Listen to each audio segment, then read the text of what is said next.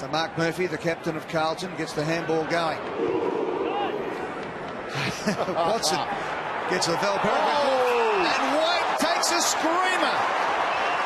Three or four back. Look at this one.